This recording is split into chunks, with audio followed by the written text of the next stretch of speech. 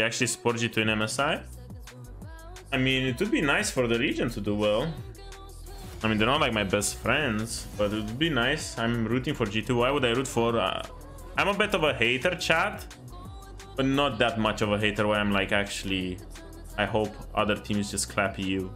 Last time G2 were 5-5 in Rumble Stage, they won MSI. I mean, that's my theory, chat. That is my theory. My theory is that G2 went 4-0, and then they're like, uh, yeah, last time we were 5-5, we won MSI, so they just ran it down for the 5-5. It makes sense.